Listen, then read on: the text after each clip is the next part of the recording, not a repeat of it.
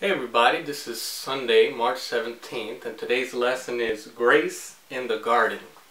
And the memory text again is 1 Corinthians chapter 15, verse 22. For as in Adam all die, so in Christ all will be made alive. And uh, just remember we're trying to memorize this text this week. Uh, if you wind up doing it, feel free to post a video of yourself reciting this verse uh, just to kind of inspire the rest of us to get it done. Uh, the lesson starts off by uh, talking about Adam and Eve being made in perfection in the image of God chose to disobey and disregard God's law. And sometimes we think that they uh, were somehow not aware of the ramifications of eating from that fruit. But it's clear that when the serpent asked Eve if she would eat from the fruit, she clearly recited God's command in saying, In the day that we eat of the fruit of that tree, we will surely die. She was clear. They were both clear on what God's position was, and they intentionally chose to disobey Him. Though they both had their different reasons, they both sinned. Eve, for the hope of achieving an experience that she previously was denied, and Adam, the fear of losing something he already had. In the same respect, we sin for about the same reasons. Most of the time, at least. Fear of losing, perhaps, a job or a friendship or money or riches. Uh, we choose to disregard God's law and will in order to preserve what we already have. Or like Eve, we uh, see the opportunity to experience some sort of pleasure that God has forbidden and we disregard God's position or will in order to experience this pleasure or realize this desire.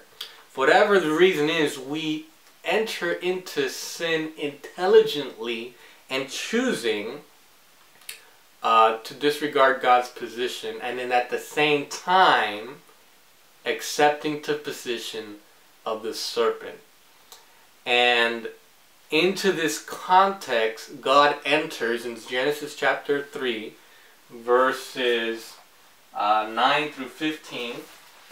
And we'll read that real quick. Genesis chapter 3, verses uh, 9 through 15. And the Lord God called unto Adam and said unto him, Where art thou? And he said, I heard thy voice in the garden, and I was afraid, because I was naked, and I hid myself. And he said, Who told thee that thou wast naked? Hast thou eaten of the tree whereof I commanded thee that thou shouldest not eat? And the man said, The woman whom thou gavest to be with me, she gave me of the tree, and I did eat. And the Lord God said unto the woman, What is this that thou hast done? And the woman said, The serpent beguiled me, and I did eat. And the Lord God said unto the serpent, Because thou hast done this, thou art cursed above all cattle, and above every beast of the field. Upon thy belly shalt thou go, and thus shalt thou eat all the days of thy life. And I will put enmity between thee and the woman, and between thy seed and her seed. It shall bruise thy head, and thou shalt bruise his heel. Here we see that God enters into the situation with questions. Where are you, Adam? Who told you you were naked? Did you do what I asked you not to do? God asked these questions not because he needed information, gathering uh, the facts, because God knows everything. What he was trying to do is bring Adam and Eve uh, mentally, uh, bring them into a re, uh, uh, make them aware of what their current situation had become. Help them to understand what the immediate effects of sin uh, was in their life. Previously, when God would enter into the garden, Adam and Eve would run towards them, and now they were running away from him. Sin had completely changed the dynamics of man's relationship with heaven and man's relationship towards Satan. Because in the promise of, of, of uh, the first gospel promise that we found in verse 15, where God says, I will put enmity between you and the woman, uh, here we see that the relationship between man and the uh, serpent is one of friendship. That what was once a stranger was now a friend. And God knew that in obeying Lucifer, man had brought themselves under the power and influence of the enemy. And in order for man to be fit in, uh, back into communion with heaven, he would have to perform a supernatural miracle in the heart of man in order for them to hate the ways of Satan and love the ways of God. And this is something that Adam and Eve were not aware of. And sometimes something that we are not aware of. That before God perform, performs the miracle in our hearts, we love the ways of the serpent and we hate the ways of God. But he made the promise here in the garden that he would change all of that for whoever would desire it. And that is the first gospel promise that we receive in the Bible. And there's another uh, gift that God gives in verse uh, 21, which we'll read real quick, Genesis 3.21, where God gives another uh, benefit towards humanity. Unto Adam also and to his wife did the Lord God make coats of skins and clothe them. Here we see that when Adam and Eve were aware of their nakedness, they made for themselves uh, garments of leaves and this was not fit in God's eyes for clothing for his children. So he prepared for Adam coats of skins. But it's obvious that you cannot have coats of animal skins without first having the death of the animal. And this experience, this sacrifice for Adam's benefit, must have left a dramatic impact on Adam and Eve's psyche because for the first time in the universe, death was experienced. This is something that Adam and Eve had never seen or had the concept of before. Death is kind of a part of our culture. We just kind of know when we live in this world, we're going to die eventually. In order for us to eat a burger, an animal just needs to die. It's just a part of life.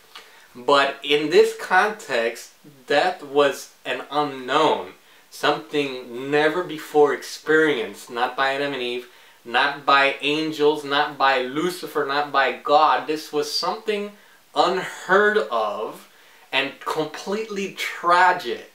And when it happened, it totally uh, it, it horrified Adam to watch, to realize that this lamb or this animal was who had no reason to suffer the way it did, died because of the decisions that Adam and Eve made.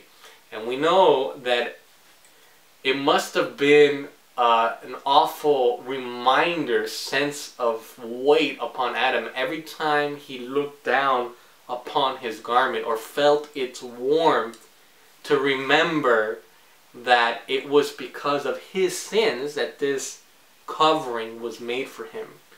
Now, this animal sacrifice was just a symbol of Jesus Christ who, through his death, would cover the nakedness of all of mankind. He would wipe away our record of sin. And it just brings on home if we realize the gravity of that sacrifice. The fact that God in the in the body of Christ died on our behalf. Here we see the gospel truth that when God received what he did not deserve, which was rebellion against his law and disobedience, he in turn gave humanity what they did not deserve love and mercy and salvation. And this is what we call amazing grace. Something that we all do not deserve because we all have fallen short of the glory of God.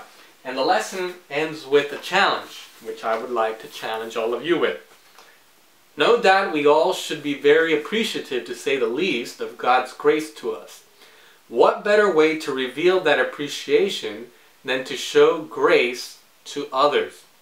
To whom could you show some grace right now, however undeserving he or she may be? Uh, challenge you to go find that special someone and show them grace, just the way you expect God to show grace to you. That was Sunday's lesson. Feel free, everybody, to please comment either questions or things that you got out of the study uh, in your own personal studies. Post your comments or make your own videos.